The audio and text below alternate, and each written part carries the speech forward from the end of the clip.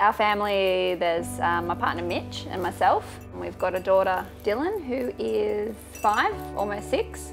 And this is Dax. Uh, he's three and he'll be four in November. He's a little legend.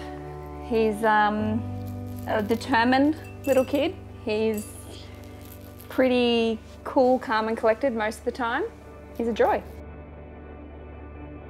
Dax was born with congenital cytomegalovirus, which affected his brain development. He has a few conditions from that, one of them being dystonic cerebral palsy. He's also got a vision impairment, hearing impairment, and epilepsy.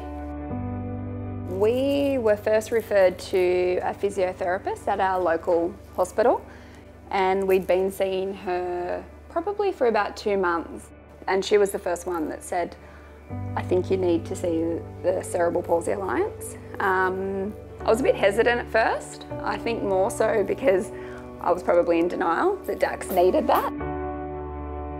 I actually still remember the first meeting. I remember walking in there and we, were, we sat on the floor.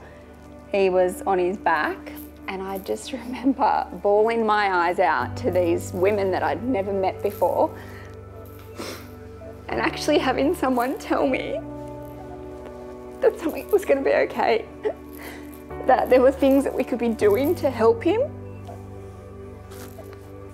and that we can actually make a difference to his outcomes. Like, that was the first, they were probably the first people that actually we left there and actually had hope about what we could be doing at home. They got it. Children with a diagnosis of cerebral palsy or a high risk diagnosis of cerebral palsy under the age of 12 months are able to access our Babies at Risk program. When we get babies into therapy as early as we possibly can, we harness neuroplasticity, and that is the brain's ability to make changes for the good. If we compare it to another condition such as stroke, which can affect you or I, we wouldn't delay starting therapy for someone who has had a stroke beyond 48 hours. And in fact, the Australian National Guidelines for Stroke Management advise commencing out of bed movement activities before 48 hours. Our sessions from the beginning with the Cerebral Palsy Alliance were all about setting up the foundations for where he is now.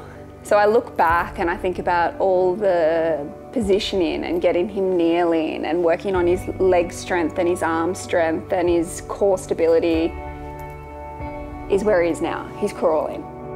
My hopes are high. Uh, I remember the first time we met with the neurologist, I said to him, what's your best case scenario for Dax? And he told me and I said, well, I'm gonna beat it. Um, I hope he'll walk. I'm confident he will. Um, I hope that he has that independence down the track. I hope he has lots of friends. I hope that he enjoys school. I hope that he lives a long and fulfilling, purposeful life.